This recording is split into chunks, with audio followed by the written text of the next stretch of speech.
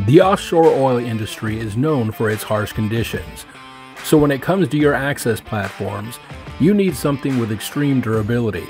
That's where DEFI offshore fiberglass access platforms really outshine traditional building materials. The marine environment is highly corrosive, wreaking havoc on steel platforms. Fiberglass, on the other hand, is not affected by the corrosive marine environment. From non-skid walking surfaces on our gratings to our OSHA designed stairs, handrails, and ladders.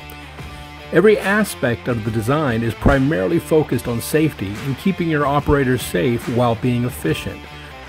Installation and assembly of steel platforms also requires expensive heavy lifting equipment and is quite dangerous.